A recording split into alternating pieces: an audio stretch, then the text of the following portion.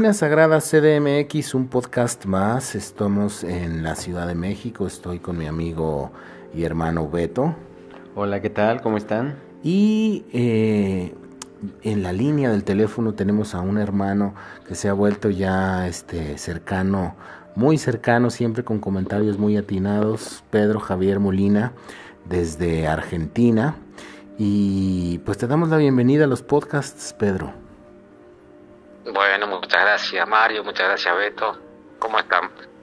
Pues este, estamos mm, eh, de alguna manera en shock.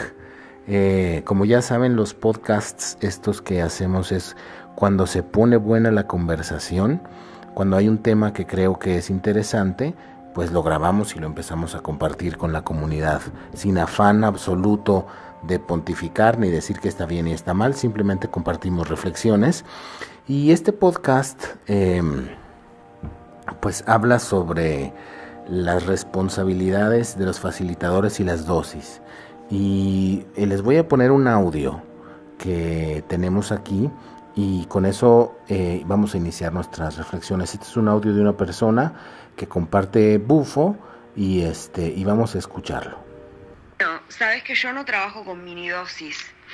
Eh, solo trabajo con dosis enteras de bufo. Hay gente que trabaja con... Yo te entro un bufo donde no te puedas agarrar de nada, de nada, que el bufo te lleve. Donde tú no tengas la capacidad de agarrarte con la mente de nada. Yo te entro un bufo por arriba de los 100 miligramos. Y no te dejo que te agarres de nada. Porque ¿para qué? Pues si vamos a andar por la vida dando microdosis, eso no dar un bufo. Bueno, 100 miligramos. Iniciamos nuestro podcast eh, con, con, este audio. Pedro, ¿qué tienes para compartirnos? Y para mí es algo muy duro escuchar algo así porque durante cinco años estudié la molécula químicamente y sé los efectos que puede producir, es una medicina excelente, pero bien manejada. Y me parece que hablar de 100 miligramos o más es cocinarle la cabeza a alguien. Esa es la descripción que da guía, ¿no?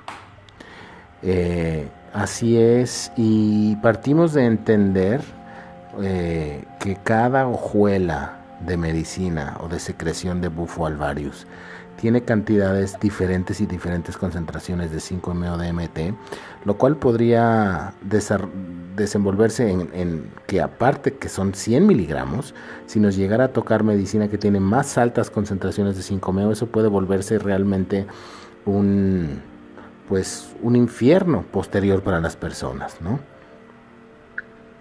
En realidad, mira, yo te digo que en estos cinco años que vengo investigando la molécula, me he encontrado con muchos casos de que gente ha quedado con muchas secuelas psicológicas. Y la pregunta mía fue del por qué. Y me llevó a investigar mucho, me llevó a investigar mucho. Y bueno, medianamente encontré algunas respuestas y justamente están en el tema de las dosis justamente tienen mucho que ver con el tema de la dosificación. No todos los cuerpos o todos los seres humanos tenemos la misma predisposición a recibir una determinada cantidad de esta medicina o de ninguna. No.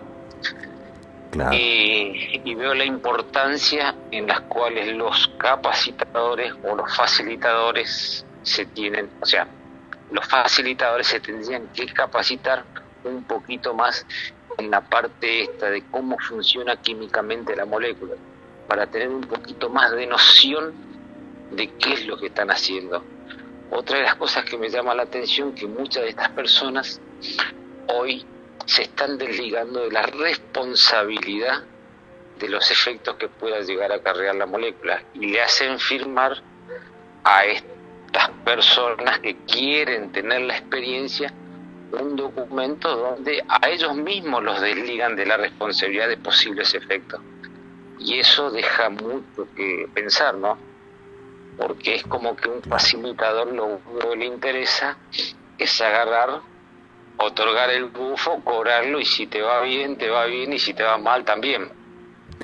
Claro. Y ese es básicamente el modus operandi de alguna manera de lo que está sucediendo hoy en día con, con, con esta medicina. Y bueno, en este canal, como siempre hemos dicho, no queremos enjuiciar a nadie, simplemente es empezar a poner las reflexiones para que la gente vaya tomando sus propias decisiones. Y creo que esto, este punto que sacas es el que hemos estado, tal vez desde otro ángulo, pero tratando siempre de que los facilitadores se tienen que hacer responsables. Me comentabas tú que ahora ya se está trabajando, eh, le doy un bufo y los mando al psiquiatra, ¿no? O sea, eso es, eso es de alguna manera, sí, sí. o sea, es, así, ¿eh? De hecho, muchos facilitadores ya tienen su equipo de psicólogos y psiquiatras.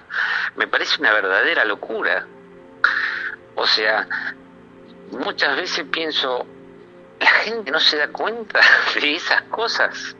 O sea, quieren tener una experiencia, no, no sé, no me entra en la lógica de la cabeza del por qué la gente no observa esos pequeños detalles como por ejemplo, ¿por qué voy a necesitar un médico? ¿Por qué voy a necesitar un psiquiatra o un psicólogo? ¿Tanto, tanto es el riesgo que estoy tomando? Claro. Pero yo creo que la gente tendría que preguntar un poquito eso. Claro, ahora mira, justo estamos eh, ahorita eh, con Beto. Hay una, hay una chica que vino de Chile porque quedó justo eh, con el tema de las reactivaciones y con el desequilibrio ecológico, de, de ecológico, eh, eh, psicológico, mental. Y este, o sea, es una realidad. No tenemos los datos como para decir cuánto porcentaje de personas quedan con estos problemas, pero es una realidad que el bufo se está expandiendo y al expandirse se han expandido los casos de, de gente que queda pues de alguna manera con estos procesos de ansiedad. Aquí está Beto, ¿qué tienes tú para agregar, Beto? Bueno, sí, yo, yo creo también se me, se me hace un poco delicado el que eh, esto de que algunos facilitadores solamente se encargan de prender la pipa y lo que pase después casi casi me dicen no me viste, no me conoces, esto tú lo pediste y así fue. Entonces, yo, creo que exactamente tenemos que aprender a reconocer cómo funciona esta herramienta.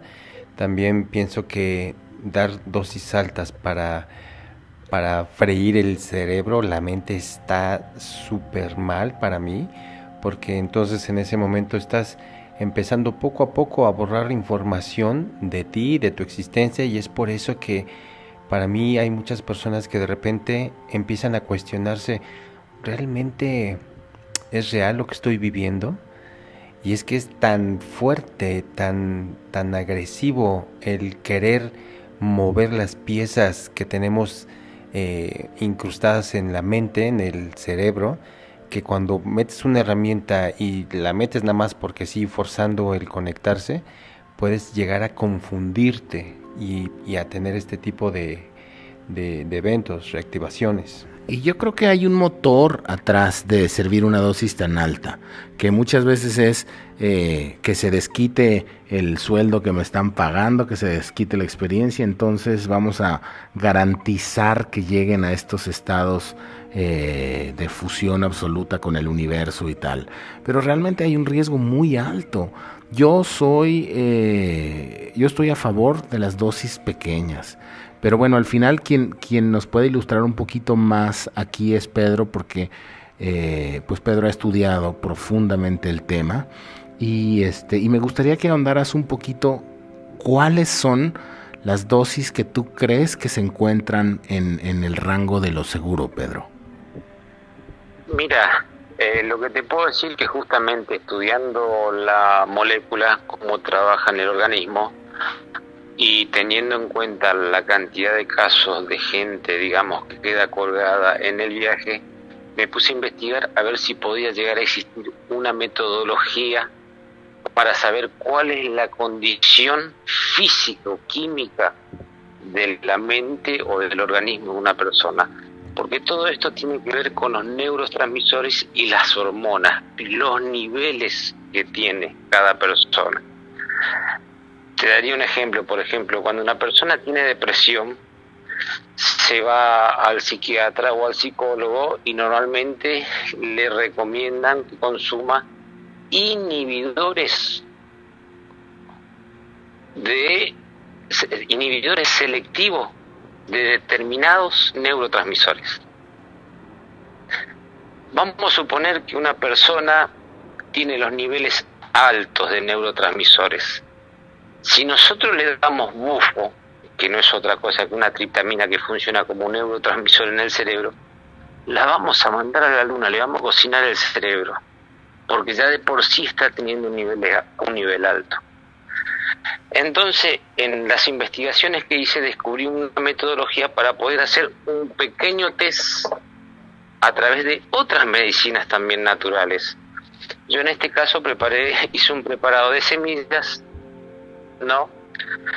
Que se lo hago consumir sublingual a las personas. Y el cuerpo me va a determinar cuál es la condición de sus niveles neuronales y hormonales y a partir de ahí voy a saber cuál puede llegar a ser la dosis. Si la persona reacciona, por darte una explicación más específica, con una extrema relajación al punto que no se puede llegar a parar, quiere decir que tiene niveles muy altos, por ejemplo, de serotonina. Entonces sé que cuando esa persona vuelve a su estado normal no le puedo dar más de 20 o como mucho 30 miligramos. Si la persona solo tiene una relajación físico-mental, pero puede desarrollarse bien físicamente, podemos estar hablando de entre 35 a 45 miligramos. Pero puede ser que la persona no reaccione en absoluto a la mezcla esta de semillas. Entonces en ese caso sí estamos hablando de una dosis completa que puede llegar hasta los 60 miligramos. En algunos casos, yo esos 60 o 70 miligramos se lo doy en dos periodos, en dos partes. Le doy 30 en una vez, lo dejo reposar, descansar, que la medicina haga efecto. A los 40 minutos o a la hora le vuelvo a dar la otra dosis y ahí sí se integra perfectamente. Es una metodología que estoy usando y está funcionando muy bien. Ok, eh, mira, nosotros de hecho hicimos hace, hace un poquito tiempo un podcast que hablaba justo eh, de lo que le llamábamos el cinturón de conciencia, que es, hay personas que debido a su química cerebral se encuentran más sensibles a los, a los reinos sutiles, vamos a llamarlo así, ¿no? La manera que nosotros tenemos de explicarnos esto es que hay personas que debido a no sé cuál circunstancia, sus niveles percepción de los mundos sutiles son más avanzados que otras. Pero eso al final, si te vas a, a tras bambalinas y si vas a rascar a la raíz de eso, tiene un fundamento químico, que es esto de lo que estás hablando, ¿no? Entonces, Exacto, entonces el punto aquí es que el primer detalle es que tú no puedes darle la misma dosis a cualquier persona. Eso es, eso creo yo como que, o sea que eso es algo importante. Y decir ya una dosis de 60 miligramos ya es una dosis alta. 100 miligramos es una locura. Exactamente. Si yo estoy diciendo que una persona que tiene un desequilibrio o sea, con menos cantidad de, neurotransmisores en el cerebro, hay que dar una dosis alta, hablando de 60 miligramos, hablar de arriba de 100 me parece una locura. Claro, ahora, este desequilibrio de, del que hablas, me gustaría aquí hacer un pequeño paréntesis porque es un tema que a mí me ha fascinado desde algún tiempo. De hecho, un doctor argentino que es Jorge Cipriano Olivier en 1994 hace esta esta, esta publicación científica donde dice que las personas que se encuentran en estado psicótico, esquizofrénico, en realidad están bajo los efectos de estas mismas moléculas. Entonces, eh, ahí es un dilema muy interesante porque es cuando decimos, ¿es un desequilibrio o es un privilegio realmente que tenga? O sea, porque a veces las personas están en estos estados de hipersensibilidad porque su química cerebral está tocada, como dices tú, los reguladores que bajan los niveles de estos neurotransmisores que es el DMT se encuentran débiles, entonces estas personas entran en estados alterados de conciencia. Entonces resulta que las personas que están en un manicomio probablemente es una persona que está teniendo una experiencia de bufo o una experiencia de ayahuasca. Y ahí es donde está el, el dilema interesante si es una bendición o una maldición, ¿no? Es, ese, la verdad que es un muy buen tema como para discutirlo, ¿no? Eh, eh, pero es muy difícil de, de, responder esa pregunta. O sea, pero... ante el común de la gente o la sociedad en la que vivimos, bueno, esa gente está mal de la cabeza. Pero desde el punto de vista, por ejemplo, por nosotros que conocemos los efectos de esta medicina, podríamos decir que hasta podrían llegar a ser un poco privilegiados porque en forma natural llegan a desarrollar esos niveles altos de, por ejemplo, de MT en su propio organismo y tienen sus propios viajes enteógenos. Claro, pero es una tristeza que estén en los manicomios. O sea, fíjate bien. Yo calculo que eso sí, eso es un error, eso es un error muy grave pero es un error de la ciencia y del sistema. Es un error de la ciencia y del sistema. Yo no, no estoy de acuerdo que, por ejemplo, una persona que tenga, no sé, algún desequilibrio para, para un psiquiatra, lo tengan que vivir dopando en un, en un, en un manicomio. Me parece una verdadera locura. De hecho, estuve leyendo, por ejemplo, ahora un artículo muy avanzado, no me acuerdo en qué país, donde están, habla están hablando de tratar la locura sin medicamento y sin encierro, y con muchos, con efectos muy positivos. Pues claro, que al final es lo que es, lo que haces tú, por ejemplo, Beto, cuando llegan las personas, porque muchas personas que llegan eh, después de los tratamientos de bufo, en realidad están entrando en estados psicóticos, entrada y de salida. Lo que le llaman la reactivación también puede denominarse en científicamente como un episodio psicótico. Entonces, por ejemplo, Beto cuando recibe a las personas aquí que vienen con estos episodios, que vienen con eh, que lo que se llaman reactivaciones, que es que vuelven sus neurotransmisores a, activarse y entrar en estos estados eh, alterados de conciencia, tú los tratas justo no con medicina. De hecho, creemos que es un error bloquear los procesos. Si tú agarras y a una persona que está en medio de un proceso de estos, le bloqueas químicamente la, la maquinaria, se queda atorado en un limbo terrible. Sí, así es. De hecho, eh, me ha tocado, de hecho, eh, la chica que ahorita está eh, aquí de visita trabajando con nosotros por, por los traumas que, que tuvo después de la toma, este, yo siempre trabajo sin, sin medicina, sin ninguna sustancia, y lo más increíble es que todos me reportan ver cosas después de la postmedicina, cosas que ni siquiera conectaron en la, en, en la toma del bufo. Y es ahí donde se empiezan a dar la oportunidad de por primera vez empezar a conectar lo que realmente son ellos. Sí, yo sí veo un error, muy, muy grave el querer dar una dosis más a las personas que están con, con ansiedad o con depresión. Y hemos podido darnos la oportunidad de así.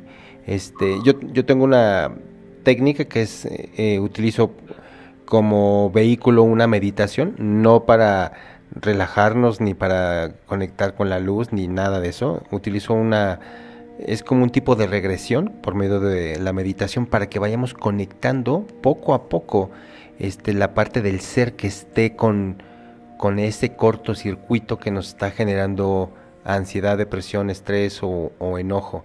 Y los resultados han sido, han sido muy, muy buenos. De hecho, por ejemplo, yo en mi caso nunca doy sapo si la persona está intranquila. Siempre los preparo antes a manera de que estén listos y yo cuando digo los preparo antes, para mí ese es el test de qué tanto pueden ellos tomar de medicina. Y afortunadamente este pues los casos nos ha ido bien y efectivamente lo primero que les digo que después de esto de la toma eh, eh, me hablen y estén en contacto conmigo porque realmente el, el, el verdadero trabajo es después de la toma porque pues prender la la pipa, pues eso todo el mundo lo está haciendo. El contener y trabajar para que ellos vayan integrando y entendiendo todo lo que tienen que hacer, ese es el verdadero trabajo que creo que deberíamos de hacer todos. Ahora yo creo aquí que realmente cuando alguien queda eh, pues como dicen, pegado del alambre, conectado, se queda en el viaje en realidad, es porque de alguna manera el, el ser o el cuerpo está necesitando seguir trabajando. Porque también un, detalle interesante, Pedro, es cómo es posible que las personas que quedan eh, este, con las reactivaciones o con estos efectos secundarios, con pura meditación y entendimiento, de lo que les está sucediendo van aterrizando y vuelven a quedar bien. Sus niveles de los inhibidores de la monoamino oxidasa, que es la que regula los niveles de DMT, regresan. O sea, está comprobado científicamente que los estados de ánimo cambian totalmente los equilibrios de la química de nuestra mente. O sea, eso es eso está muy comprobado, o sea, siempre vamos a lo mismo. O sea, que de una forma u otra la química del cerebro se puede activar con sentimientos, con emociones, con disgusto, o sea, eh, eh, nuestro cerebro es un laboratorio que funciona acorde a lo que sentimos. Y cuando le agregamos química, peor todavía, ¿no? claro, bueno. Y yo creo que a mí me gustaba mucho otro tema que es para reflexión y que lo dijiste fuera de antes de que estábamos grabando, que es la gente se va muchas veces por el tema de decir, estoy teniendo una experiencia mística y borran absolutamente todo la responsabilidad de las matemáticas y la química cerebral, ¿no? ¿Cómo deja? Sí, sí. Sí, es un tema bastante Sí, es un tema bastante complicado. La verdad que esto es algo como para hacerlo muy, muy largo, para que la gente empiece a tomar un poquito de conciencia que esta herramienta es muy buena, es una medicina extremadamente buena, pero hay que conocer cómo se produce su magia. El facilitador tiene que saber cómo se produce su magia. O sea, vamos a quitar un poquito del misticismo de lado y vamos a tener que entrar un poquito dentro de lo que es la ciencia, porque acá no hay que olvidarse de que estamos buscando una experiencia mística con un químico, más allá de que el químico sea natural. Eso no lo podemos descartar. Claro, y otra cosa que es muy peligroso, hay esta extraña creencia de que, de que las tribus indígenas son los que saben cómo funciona esto. Y, este, y eso es completamente falso, es muy duro. Y a veces me he ganado yo el repudio de la comunidad por estar diciendo que, que nadie sabe nada, ¿no? Y, este, y la gente llega a pensar, eh, porque existen estos linajes de personas en la selva que tienen 5.000 años eh, trabajando con ayahuasca y pues la verdad es que podrá ser que ellos sí sepan porque hay un linaje, porque conocen las plantas, porque ya han muerto miles de indígenas en el proceso y se han ido refinando los procesos. Pero yo digo que esta medicina es nueva Existirán los indicios de que se usó con los mayas, pero no hay ningún maya, que se usó con los antiguos seris y los tojonos y los yaquis, pero no hay un ser vivo que esté de pie que haya heredado un conocimiento, por lo tanto estamos empezando de cero. Y yo creo que este tiempo en el que estamos poniendo los ladrillos para el futuro tenemos que tener mucho cuidado, ser muy responsables, no poner nuestras manos eh, en nuestro, nuestra psique, nuestra química cerebral en manos de cualquiera y menos de, un, chamán que diga que, que, con unos plumazos o, que algún linaje de, de, no sé quién los instituyó. O sea, eso es, es duro y es feo decirlo, pero eso no existe.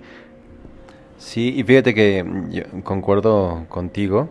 A mí se me hace que esta es una herramienta tan nueva, tan nueva, que muchos han intentado con esta herramienta eh, mover piezas de, de, su ser y es como eh, forzar eh, un, no sé, una llave Allen con un, de una medida y lo único que están haciendo están barriendo los tornillos que soportan su ser conectado con su mente, con su corazón, y me he dado cuenta que, que eso, ¿no? Que, que esta herramienta la estamos conociendo apenas todos y en el intento de conectarnos muchos están como atrofiando eh, la arquitectura o el diseño del ser humano.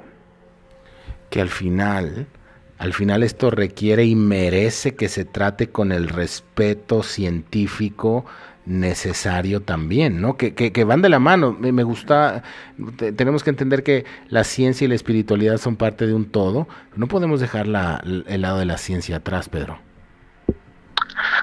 Mira, yo una de las cosas que pienso justamente sobre el tema del chamanismo es que si existió en algún momento un conocimiento, se perdió. Se perdió y listo, hoy no se conoce. O sea que lo que podemos llegar a decir es que tenemos que redescubrir y empezar a comprender cómo funcionan estas medicinas.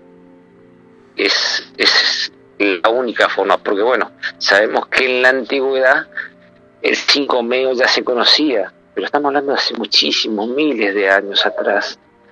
Y, bueno, sabemos que en la antigüedad existían grandes mentes.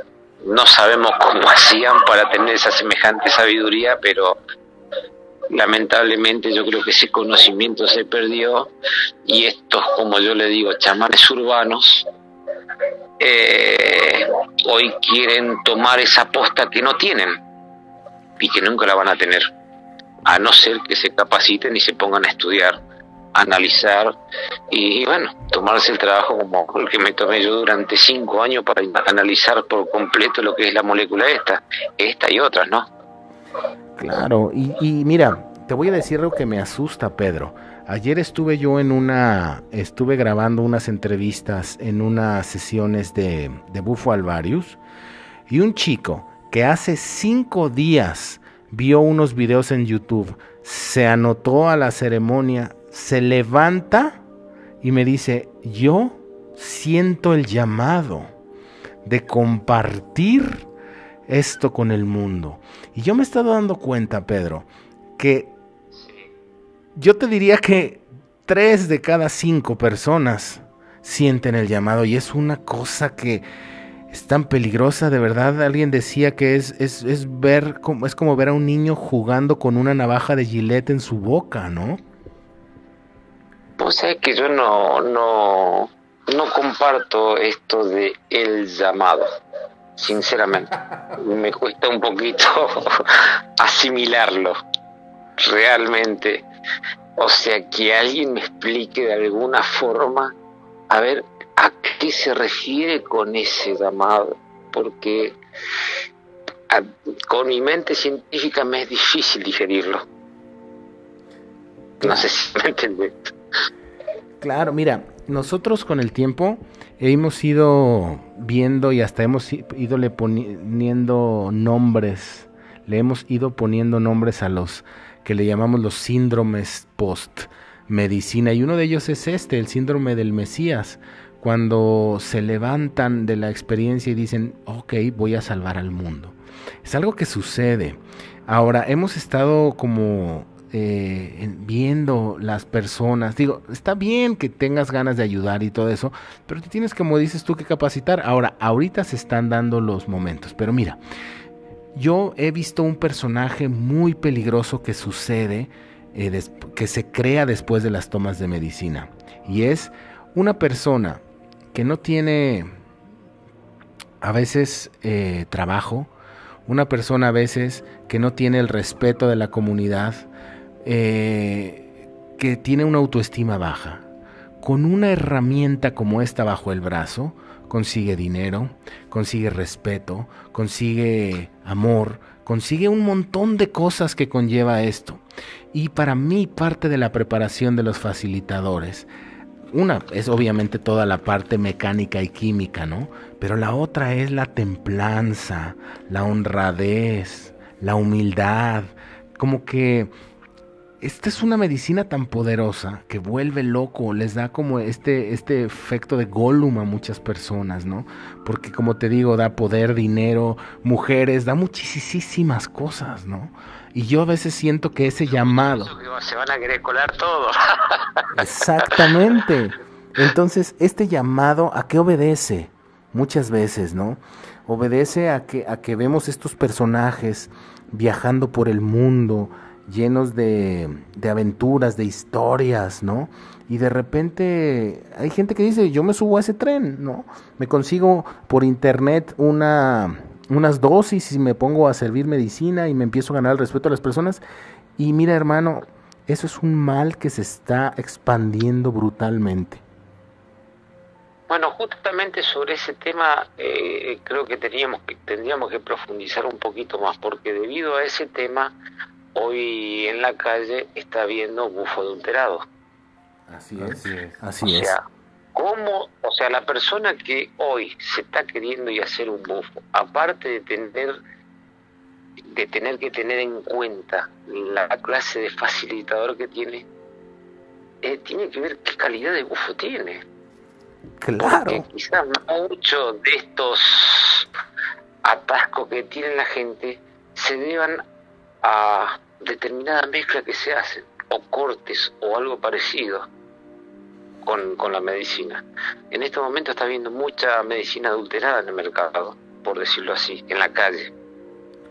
Y ese también es un peligro muy grave. Claro, y aparte una persona que no tiene idea cómo se ve, que jamás, yo pues la primera vez que fui a mi sesión de bufo, pues yo dije, no sé si me están dando, qué me están dando al final, y uno pues da un salto de fe porque quieres sanarte, porque quieres mejorar tu vida, por lo que sea, ¿no? Pero de, de, eso se están aprovechando muchas personas, que yo creo que eso lo vamos a guardar para otro podcast porque es un tema largo, pero... Sí, es un tema muy delicado también. Pero al final... Eh, yo creo que como iniciamos eh, este podcast hablando de las responsabilidades de, lo que es un facilitador, de las dosis, creo que tenemos que ser muy conscientes. Yo sé que muchas personas que facilitan medicina siguen también este canal y de ninguna manera es, es, juzgar, es este meternos con sus procesos, simplemente es informarles, simplemente es compartirles para que si les hace sentido lo que estamos diciendo, lo lleven a cabo, ¿verdad, Pedro? Mira, yo, Mario, estoy en este momento tratando de armar una especie de campaña para ver si se puede llegar a, a capacitar justamente desde un punto de vista científico a facilitadores que tengan un poquito más de noción de lo que es la molécula, que dejen un poquito lo espiritual de lado y se integren un poquito más del lado científico, porque es muy importante esa parte. De hecho, eh, la vida de una persona o, o, la psique de una persona está en las manos de un facilitador. Así es. Así es, la psique de una persona está en manos del facilitador y es ahí donde me da mucho miedo que, que personas que de repente dicen, no, hay que borrar y, todo lo que hay en la mente, hay que ponerla en blanco. Y la pregunta es, ¿es necesario poner en blanco la mente, borrarle todo? ¿Qué es lo que borras? ¿Qué es lo que sueltas? ¿Qué es, ¿Con qué te quedas? Y es ahí donde veo muchas personas que de repente entran en estos cuadros como de ansiedad, porque lo primero que les pasa es que no saben quiénes son por haber metido semejante dosis al cuerpo. Yo estoy seguro que la intención de esta chica es muy buena, muy buena. Lamentablemente tuvo malos maestros, malos maestros y, y bueno, a la vista se ven los resultados. Y como hoy no existe una guía, no existe un digamos, lo hace una reglamentación específica para el facilitador, cada uno lo hace como le parece o como cree que está bien y eso es realmente lo peligroso. La falta de desconocimiento que tienen. Quizá la intención de muchos es buena, pero el problema es que con la intención no basta, porque estamos hablando de la vida de una persona. Claro, puede, realmente es una ruleta rusa. ¿No? es una ruleta rusa eh, y, es, es, triste y, y, es que está sucediendo, de alguna manera esto que está sucediendo Beto, justo aquí es, eh, y David Gallegos son las personas que están como especializándose en tratar a las personas que quedaron dañadas después de este proceso y te podemos decir, o le podemos decir a la gente, que ha ido creciendo exponencialmente el número de gente que se cura con el bufo y también de los que quedan mal. Sería bueno de alguna manera ir encontrando un, no sé, hasta haciendo estadística, ¿no? Incluso hablando con los facilitadores, yo sé que ya cargan con su psicólogo, su psiquiatra de, de cabecera, ¿no? Y pues eso es algo que tiene que cambiar, porque yo no, o sea, yo no sé qué sentiría si mi hijo o una persona que yo amo queda dañada por una de estas cosas. De hecho, yo soy un sobreviviente de eso. Yo quedé dañado con mi primera sesión de bufo, tuve las reactivaciones. Beto también tuvo, las reactivaciones. Y este y bueno, tuvimos oportunidad de salir, pero hay gente que no sale. Sí, conozco gente que hace más de un año que está tratando de, de salir de ese enganche. Y es triste, yo creo que estos postcards son muy buenos porque le dan un poquito de, conocimiento a las personas que quieren tener la experiencia de las cosas que tienen que llegar a tener en cuenta. O sea, esto no es una droga que uno va, se pega un viaje, no es lo mismo que fumarse un porro, una marihuana, no es lo mismo, que se saquen de la cabeza, esto no es lo mismo. Y que los peligros existen. Un mal facilitador puede llegar a dejarlo dañado para toda su vida. Claro, si no encuentra uno el camino de regreso, ¿no? Por último, eh, ¿cómo defines tú? Nosotros hemos eh, con el tiempo ido acuñando los términos herramienta, la molécula. Cada vez yo le llamo menos medicina. Pero desde tu perspectiva, ¿qué es esta molécula? Ya para cerrar este podcast. Mira, podría decir que es podría decir que es una medicina. Mira que te digo, con una mente científica podría decirte que es una medicina, pero bien otorgada, bien usada. Es una... Mira, me gustaría poder explicarte, pero sería muy largo. Lo que hace esta molécula en el cerebro es impresionante. O sea, hace que el cerebro atraviese todos los estados de frecuencia idénticos de cuando soñamos cada estado de frecuencia que atraviesa el cerebro gracias a la molécula le otorga una curación específica a un órgano del cuerpo. Eh, te digo, es amplio, muy amplio, lo que hace es mágico, la química que hace es mágica, pero es muy buena, es muy buena, pero siempre y cuando lo otorgue alguien con verdadero conocimiento. Bueno, pues vamos a dejar, Pedro, tu contacto y pues las personas que tengan inquietud de acercarse contigo, pues queda abierta la puerta, ¿verdad? Sí, totalmente. Bueno, pues... pues bueno, les agradezco la invitación y le mando un enorme abrazo desde la Argentina a todos aquellos que los escuchan. Gracias hermanito y desde aquí te mando un abrazo, te abrazo y gracias por compartir todo tu conocimiento y espero que pronto podamos estar como trabajando juntos porque creo que esto puede crecer. Gracias. Pues ya escucharon, Pedro Javier Molina, estuvo ya el, el contacto aquí y este, pues muchas gracias Pedro, estuvo muy sabroso este podcast para Medicina Sagrada CDMX, un podcast más.